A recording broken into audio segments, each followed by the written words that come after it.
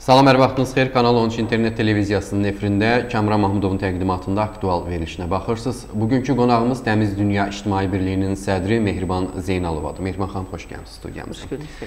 Mehriban xanımla biz ötən illərin, ümumiyyətlə son illərin trendi olan bir məsələ haqqında danışacağıq. Baxmayaraq ki, bu barədə mətbuat daha çox yazır, daha çox deyir, amma bunun sayında azalmanı biz müşahidə etmədiyimizdən tez-tez bu məsələ daha da e, gündəmə gəlir, e, daha da trendə çevrilir. Söhbət ana və uşaq ölümlərindən gedir. Mehriban xanım, e, Son bir həftənin elə trendinə də çevrilən bir hadisə Salyan rayonunda baş vermiş bir hadisədir. Üç əmlərdən ikisinin səhlənkarlıqmı deyək, yoxsa ə, e, diqqətsizlikmi deyək, işığın sönməsi nəticəsində dünyasını dəyişməsi. Ə, e, kim günahkardır? Burada məsələ belədir ki, ə, e, müxtəlif yanaşma mövcud ola bilər. Ola bilsin hamiləlik dövründə kifayət, kifayət qədər ə, müayinədən keçməyib və yaxud kifayət qədər tələb olunan o, o nə deyirlər?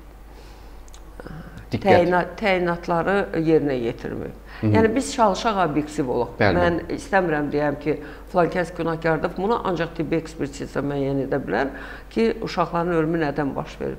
İkinci məsələ ola bilsin ki, həqiqətən işıq sönülüb və oksigen çatışmamazlığı olub.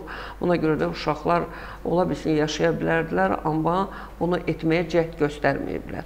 Hı -hı. Yəni bəzən səhlənkarlıq və yaxud məsuliyyətsizlik də bilirik ki, uşaq ölümünə səbəb olur və yaxud yəni burada iki məsələ daha çox qabarılır. Bir hamiləlik dövründə, bir doğuş vaxtı hər hansı düzgün doğuşu həyata keçirtməmək, üçüncü isə səhlənkarlıq. Hər ikisində üçü də səhlənkarlıqla bağlıdır. Birində ananın səhlənkarlığı, ikincisində tibb müəssisəsinin səhlənkarlığı. Yəni dövlət qurumu olaraq birbaşa səhlənkarlığa görə əgər doğrudan da o baş veribsə, o halda dövlət qurumu olaraq həmin müəssisənin rəhbərliyi və həkim heyəti təbii ki, cəzalanmalıdır. Və yaxud ora ayrılan avadanlıqların işlək olmaması ilə bağlı indi işıq təbii ki, sönə bilər. Bu adi bir hadisədir. E, Amma generator niyə yoxdur? E, generator olmalı idi və yaxud var idi, niyə işlədilməyib? Bunlar hamısı təhqiqatın mövzularıdır və onlar araşdırıb bu məsələni ortaya qoya bilər. İkinci məsələ e, valideyn bununla bağlı məhkəməyə müraciət edə bilər. Hı -hı. Yəni tibb personalının hansısa real olan səhlənkarlığına görə və yaxud xəstəxanaya görə müraciət edə bilər və kompensasiya tələb edə bilər. Bilirsiniz, bizdə çox vaxt məhz bu hüquqların müdafiəsində bu addımlar atılmadığına görə hələ də bu cür hallar mövcud olur. Biz bilirik ki, istənilən halda bəzi həkimlər doğrudan da məsuliyyətsiz yanaşır. Ola bilsin, hansısa tələblər olub, belə deyək də rüşvət deyək və yaxud hansısa gözləmələr olub, o yerinə yetirilməyib, kifayət qədər diqqət göstərməyiblər. El diliylə desə şirinlik qoyulur. Bəli, şirinlik verilməyib filan. Bu cür hallar bizim real həyatımızda mövcuddur və biz ə, e, ə, e, hamını bir araya da qoya bilmərik. Məsələn, mənim tanıdığım kifayət qədər işçilər var ki, tibb işçiləri ə, e, çox ciddi öz ə, peşələrinə yanaşır, eyni zamanda daha həssas sərgiləyir münasibəti, daha diqqətli sərgiləyir. Adi diş həkimindən tutmuş, o cümlədən doğuşu həyata keçirdən həkimlərə qədər. Məsələn, həkimlər var ki, hətta doğuşdan sonra dəfələrlə zəng vurub pasiyentin vəziyyətini maraqlanır. Bu gətirib onu çıxardır pasiyentin hüquqlarını müdafiə haqqında qanunu. Hı -hı. Yəni bu uzun illərdir müzakirə olunan bir mövzudur və hələ ki qüvvədədir, hələ Bəli. ki həyata keçirilmir. Çox təəssüflər olsun ki, yeri gəlmişkən e, mən tamaşaçılarımıza məlumat vermək istəyirəm. Salyan rayonunda qeyd elədim, baş verib bu hadisə 28 həftəliyində dünyaya gəlib. Üç əmlər vaxtından olduqca tez dünyaya gəliblər və səhv etmirəmsə çəkiləri 1100-1200 qram arasında olub və işıq sönməsi nəticəsində küvezdə olan uşaqlara oksigen çatışmazlığından dünyasını dəyişdiyi deyilir. İki, Amma Kamran, üç əmlərdən ikisi dünyaya gəlməsi də bu məsələnin əhəmiyyətli məqamlarından biridir. Amma e, Meriman xanım fakt odur ki, üç əmlərdən üçüncüsü çətin vəziyyətdə olsa da küvezdə, yəni işıqların sönməsindən oradan belə sağ çıxır və hələ də yaşayır. Yəni bu artıq bir qədər bizim şübhələrimizə son qoyur. Doğrudur. 28 Bəli. həftəliyində dünyaya gələn uşaqların yarımçıq dünyaya gəlməsi bəlkə də bizim qeyd elədiyimiz kimi, sizin qeyd elədiyiniz kimi valideynlərin e, belə deyək, vaxtında müayinələrdən keçməməsi və o, o öhdəliklərini belə deyək, yerinə Yerinə, yetirməməsi. təyinatları yerinə yetirməməsi, özünə qarşı ciddi olmaması, vaxtı vaxtında müayinədən keçməməsi. Məsələn, biz qadınlar tanıyırıq ki, bir ə, yeni hamiləlik dövründə müayinədən keçir və bir də doğuşa gedir. Bu cür olması. Əlaq üstə müəyyən ediləndə ki, bu üçəmdir və ə, adətən bilirik ki, üçəmlərin qalma ehtimalı bəzən ə, çox az olur. Ə, Biz ə, bir neçə fakt tanıyırıq ki, məsələn, üçəmlər hətta bir ildən sonra dünyasını dəyişdiyi olub. Hı -hı. Yəni tam normal ə, doğuşdan sonra ə, sağlamlığında problem olub, çatışmamazlıq olub. Amma elə şəmlər də var ki, çox yaxşı böyürlər və normal da inkişaf edirlər. Burada mən hesab edirəm ki, hamiləlik devr- devrində valideynin ə, hamiləlik müddətində tibbi müayinənin tələblərinə cavab verən davranışları icra etməməsi də əsas roldur. Amma yenə də deyirsiniz ki, biri qalıb və ikisi ə, sağ qalmayıb. Təbii ki, həkimlər son dəqiqəyə qədər çalışmalıdır. Son dəqiqəyə istənilən ə, üsul və vasitələr axtarmalıdır ki, biz bilirik ki, bütün dünyada ə, dünya uşaq gəlməsi, uşaq doğuşu, onların saxlanılması kifayət qədər məsuliyyət tələb edən bir məqamdır və həkimlərdən çox ciddi tələblər, şərtlər qoyulur. Və ə, rayon yerlərində biz bilirik ki, bu doğuşlarda bəzi hallarda həkimlər kifayət qədər həssas olmur. Hı -hı. Ə, yeri gəlmişim bu məsələ gündəmə gəldikdən sonra bir çox jurnalistlər, xüsusən də qadın jurnalistlər öz ə, doğum evlərində başına gələn hadisələri yazmağa başladılar. Hər halda ə, yazıblarsa mən onlardan sitat gətirə bilərəm çünki Bəli, bəli, ə, əlbəttə ki. ə, hamı üçün yazılıb bu, yəni ictimailəşdiriblər. E, Misal üçün ə, jurnalist Röya Rəfiyeva öz ilk övladını itirməsi haqqında yazırdı. Bəli. O o da küvezdə ə, övladını erkən dünyaya gəlmiş övladını itirməli olur və belə deyək, ə, həmin oksigenə baxan, ə, verilməsinə baxan insanın səhlənkarlığı ucbatından. Digər bir jurnalist İdrak Abbasovun həyat yoldaşı ə, yazırdı ki, Yegənə. onun da ə, ilk övladı dünyaya gəldikdə ə, tibb bacısının səhlənkarlığı ucbatından uşaq yerə düşmüşdü və uşağı son anda başqa yerə köçürməklə həyatda qalmağını xilas edə biliblər. Yəni söhbət valideynlərlə bərabər sizin qeyd elədiyiniz kimi personalının tibb məsuliyyəti, personalında bəli. məsuliyyətsizlik. Bunlar jurnalistlərdir, bunlar ictimailəşdirə bilirlər. Ə, ən azından bir mediaya çıxarda bilirlər. Ə, Rasim Əliyev misalını biz gətirə bilərik burada ki, orada da həkim səhlən, bəli, tibb personalının səhlənkarlığı ucbatından biz bu gün bir həmkarımızı itirmişik və yaxud Rafiq Tağı məsələsində biz hələ də onun sə ölümünün səbəblərini Çox təəssüf olsun ki, bəzi hallarda həkimlər nəyisə gözləyərək bu vaxtı uzadılar. Yəni burada həkimin kifayət qədər Hipokrat andına ə, sadiq qalması məsələsi var. Ə, bilmirəm ə, nə dərəcədə bu doğrudur insan taleyinə bu qədər biganə yanaşmaq və gözləntilər. Amma hər halda mənə elə gəlir ki, bizim tərəfdən də davranış kifayət qədər ə, doğru deyil. Yəni insanlar arasında əgər bu baş verirsə, çoxları susur.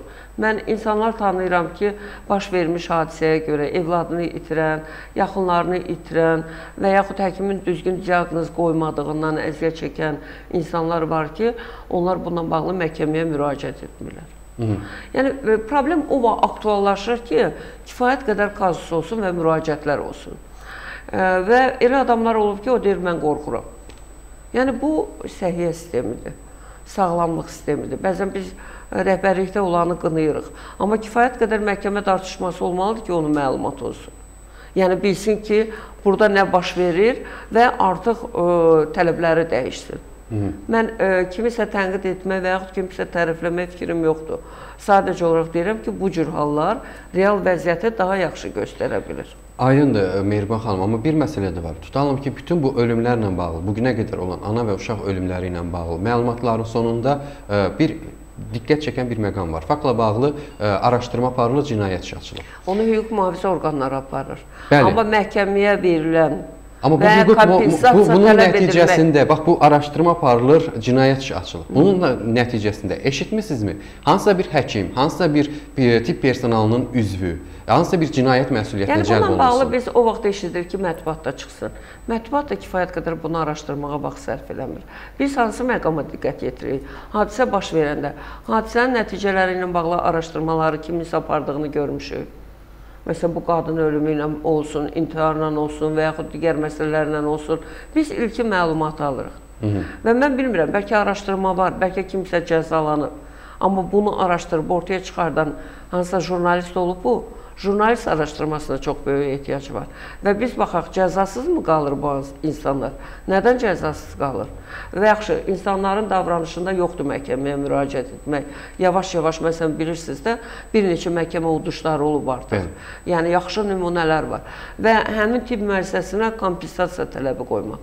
Mən inandırıram ki, hansı tibb müəssisəsi, xəstəxana buna görə kompensasiya ödəyəcəksə kifayət qədər, o halda onlar artıq narahat olmağa başlayacaqlar və kifayət qədər də e, dəyişəcək davranışını. Biz e, bəzən bu kompensasiya bizə qəribə gəlir, amma söhbət ondan gedir ki, iqtisadi e, tələblər daha çox insan davranışına təsir göstərir. Yəni o itirəndə xəstəxana öz gəlirinə kifayət qədər pulu və kiməsə ödəməli olanda o halda təbii ki, davranışı dəyişəcək ki, təkrar bu hadisələr olmasın.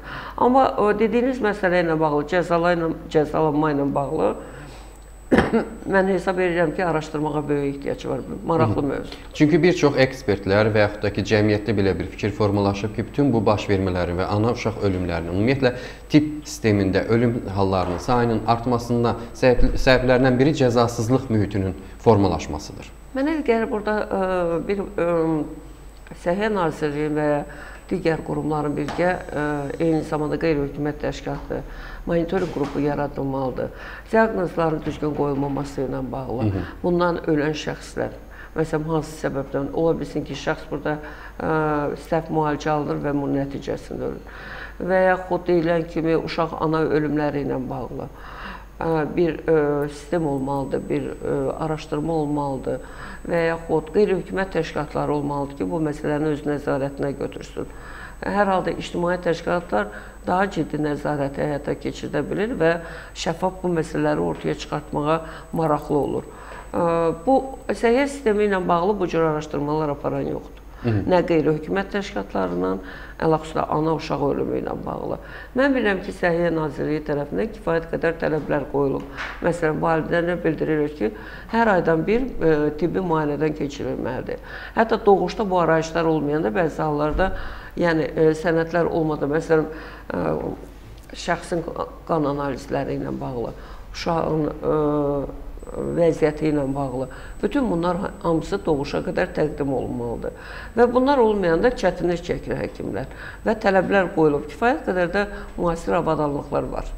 Düzdür, bunlar olduqca bahadır. Hı -hı. Özəl ə, klinikalardadır. Dövlət klinikasında bəzi hallarda bunlar kifayət qədər bilmirəm, rayonlarda var, yoxsa yoxdur. Yəni bu məsələləri araşdırmadığımdan bilmirəm.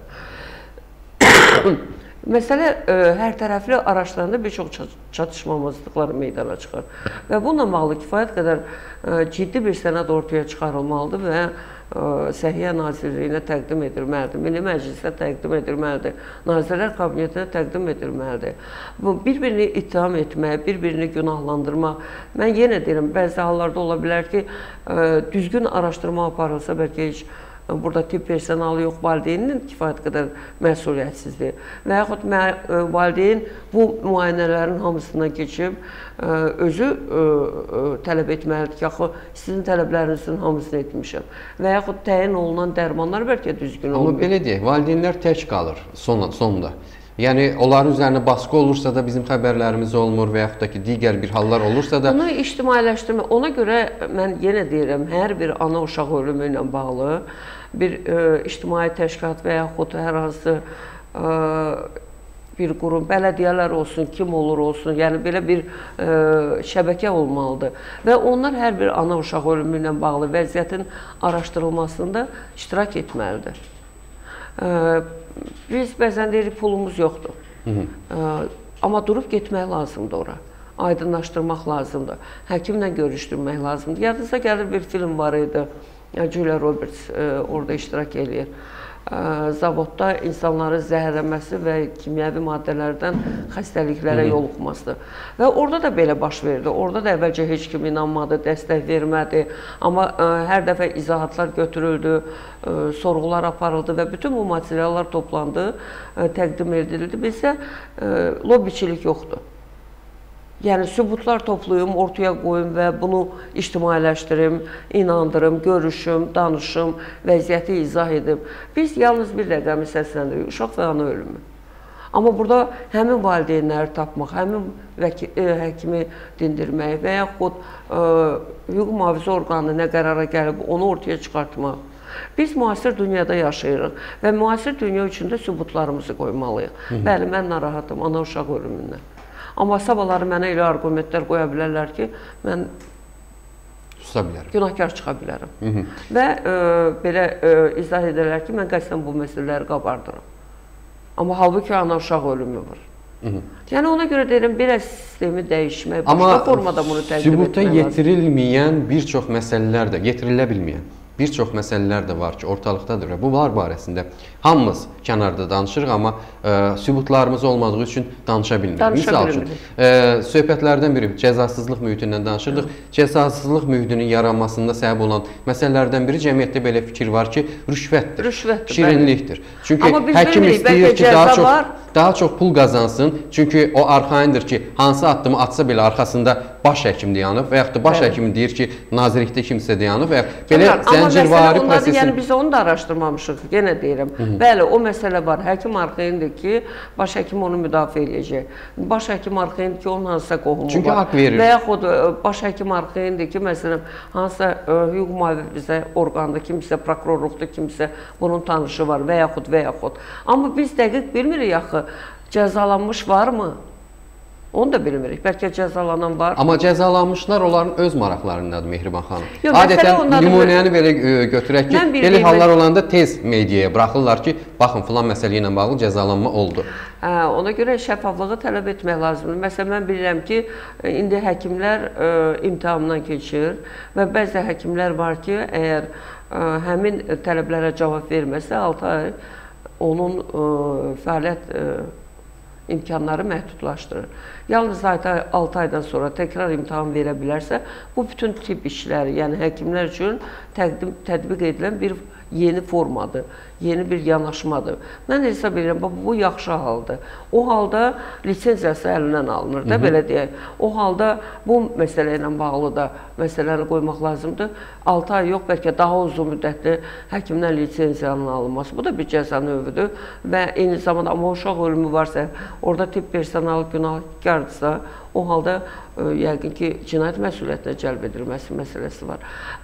Mən ə, e, yenə o fikirdə qalıram ki, kifayət qədər araşdırma aparmaq, sübutlar toplamaq və hüquq mühafizə orqanlarına bu məsələdə ə, e, nəzarət sistemini formalaşdırmaq. Burada KİV-də iştirak edə bilər, QHD də iştirak edə bilər, ə, e, Səhiyyə Nazirliyi ilə özü ilə görüşmək də olar, memorandum bağlamaq da olar. Amma bunlar hamısı sadəcə olaraq çox şəffaf və eyni zamanda ədalətli olmalı. Hı -hı. Əslində biz səhiyyənin üstündə çox gedirik, daha çox tənqid edirik. Yəni e, biz bilirik o səbəbdəndir ki, buna cavabdeh olan odur, həm də personala cavabdeh olan hə nazirlikdir, həmin nazirlikdir. Amma söhbət burada daha yəni, çox burada insanların hə, insanların söhbət vicdanı və laqeydliyindən gedir söhbət. Hətta yəni biz bu kiməsə nəsə vermiş çox... olsam da, mənim qarşımda bir körpə var. Hı -hı. Mənim qarşımda bir ə, e, aciz və köməksiz bir insan var. İnsan həyatı. Olsun o ana, bu olsun körpə və dünyaya gəlmiş bir uşaq var. Ə, bu halda mən istəyir rüşvət verim. İstəyir ə, əmək haqqım az olsun. İstəyir bu günləri hansısa qazancım olmasın. Biz ona görə burada ictimai şüur və insanın məsuliyyət məsələsi də var. Bilirsiniz, ə, mən rüşvət verirəm və yaxud mən rüşvət alıram deyin, kimsə qabağımda ölürsə, ona biganəyəmsə, onda mən insan deyiləm. Demək, bizim özümüzdə də daxili çatışmamazlıq mövcuddur. Hı -hı. Məsələ bundan gedir, geri gəlmişkən bir elə bu yaxınlardır. Bu məsələ ortalıqdan çıxandan sonra e, Facebookda yazılan bir e, yum, yumorlu belə deyək, hadisəni danışmaq istəyirəm. Bir nəfər yazıb ki, mənim səhv etmirəmsə qaynım yazmışdı. Qaynım xəstəxanadadır. Xəstəxananın da adını yazmışdı. E, qaynım Gecə gələn tibb bacısı e, tapşırır ki, səsiniz çıxmasın, mən yatıram. E, gündüz gələn tibb bacısı e, saat 12-yə qədər heç kim gəlib baş çəkmir xəstələrə. Bunlar özləri xəbər göndərirlər ki, bir gəlsin bizlə maraqlansın, iynələrimizi vursun. Deyir seriala baxıram, bitəndən sonra gələcəm. Söhbət bu laqeydlikdən gedir. Artıq insan həyatı sanki Azərbaycanda ucuzlaşıb. Həmin hadisələrdən sosial şəbəkələrdə mən çox oxuyuram. Onun kimi hadisələri. Məsələn, ə, tibb müəssisəsinə daxil olarkən dövlət müəssisəsinə hansısa tələblərin qoyulması. Yəni kim öz hüququnu müdafiə edə bilirsə, bunu vermir və nail olur. Kim müdafiə etmirsə, o halda ə, e, özü elə bil ki, könüllü çıxardır, pulunu verməyə başlayır. Yəni biraz insanlar özləri də müqavimət göstərməyə bacarmalıdır. Mən başa düşürəm xəstəsi olur, çətin. Bunu da biz öyrətmişik. Amma orada insanların müqavimət göstərməsi, müqavim orada insanlar asılıdırlar, belə deyək. Yox, mən başa düşürəm. Mən ə, e, rüşvətin əleyhinəyəm. Nə rüşvət vermirəm, nə almıram. Ümumiyyətlə həyat boyu bu məsələ olmayıb. Ə, e, və buna bir qəribə baxıram. Mən sizə etiraf edirəm ki, mən düşünürəm ki, o pulu necə vermək olar və yaxud necə almaq olar. O Təcrübəmiz özü, yox. Hə, o psixoloji halın özünü belə beynimdə düşünəndə mənim üçün çox ağır olur. Amma mən hesab edirəm, mən də qəhet olaraq bu günləri hardansa pul almıram. Amma mən öz fəaliyyətimi davam elətdirirəm. Mən insanlara yardım göstərirəm. Bu sizin missiyanız yəni. Bu, bu biraz bilirsiz, yanaşmanı da fərqli qoymaq lazımdır. Bəli, biz ittiham elə, biz gedək e, Səhiyyə Nazirliyinə soruşaq, nə məsələdir bu? Nə baş verir? Siz biganəsinizmi? İşçilərmi, əməkdaşlarmı biganədir? Bəlkə bu əməkdaşları dəyişmək lazımdır. Bəlkə daha ə, e, gənc və daha həssas insanları dəvət etmək lazımdır.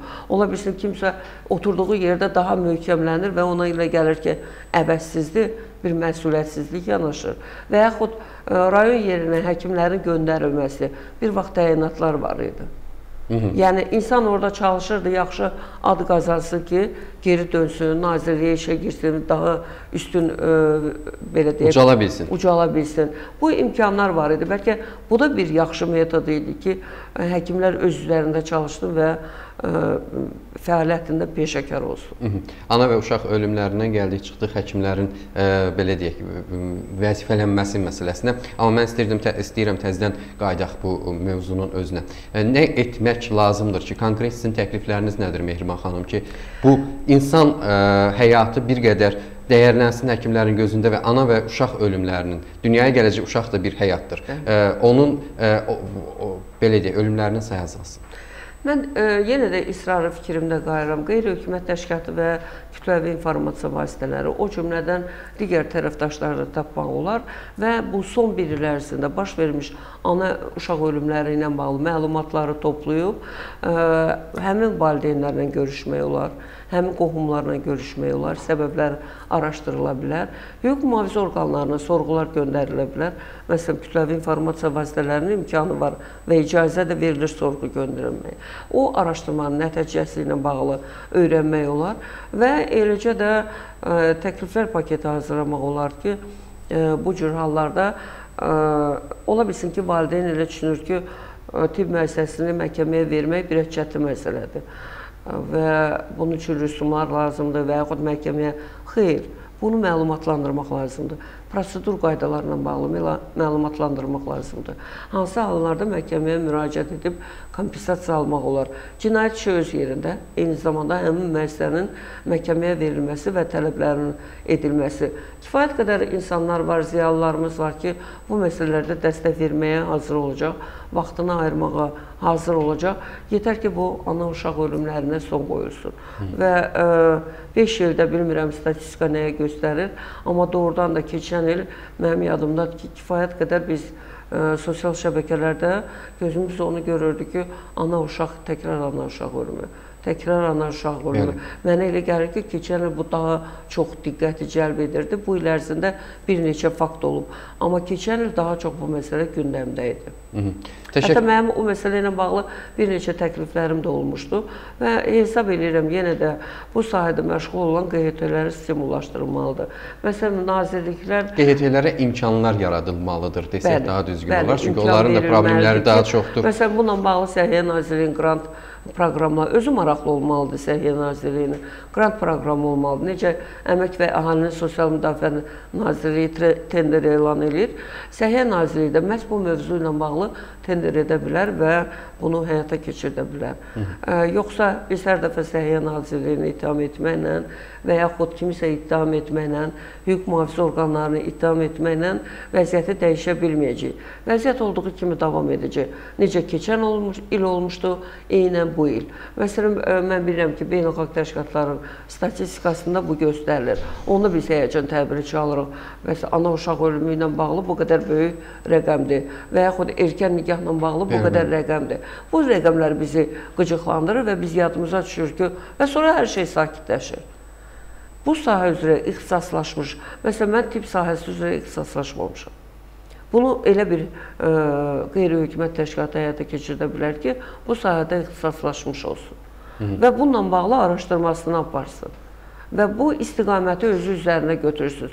Biz bəzi QHT-lər də harda e, vəziyyət ağır olduğuna görə harda pul var, ora gedir. Amma artıq ixtisas, ixtisaslaşmaya böyük ehtiyac var. Həm də bir çox QHT-lər fəaliyyətlərini dayandırmalı olurlar. Çünki QHT-lər haqqında qanun və eyni zamanda qrantlar haqqında qanuna edilən dəyişikliklərdən sonra ə, və bir çoxları elə qadınların problemlərini araşdıran bir çox QHT-lər artıq ə, fəaliyyətlərini demək olar ki, dayandırıblar. Təşəkkürümü bildirirəm Mehriban xanım. Bir daha bildirirəm ki, hökumət bu məsələlərdə özü maraqları mar maraqlı olmalıdır.